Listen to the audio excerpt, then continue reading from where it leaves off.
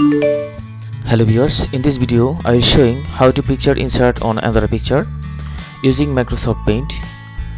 By using this feature you can make your any cover or other related photo with simply. So first open one image file where you want to insert one or more picture. Open it Microsoft Paint. Zoom less for easy viewing. Now you can open another picture by Paint.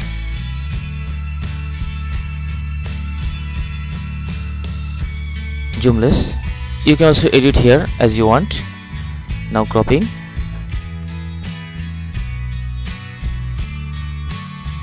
And copy. And paste here.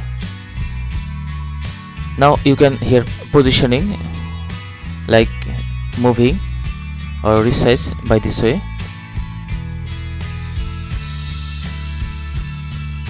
positioning as you want and click for inserted. Now see that picture inserted. You can also doing another way to insert picture. Open with another application. Copy.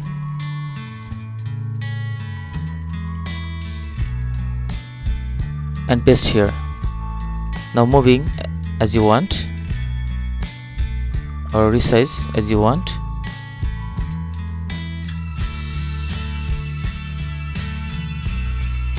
And click for inserted. You can also insert from internet. Copy image.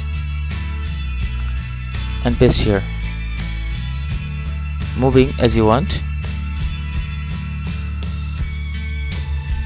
resize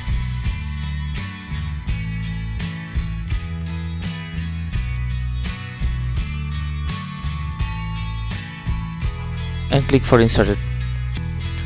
In another video i will showing so many feature in paint and other related issue for simply photo editing system. So viewer thanks for watching. Please subscribe my channel for more view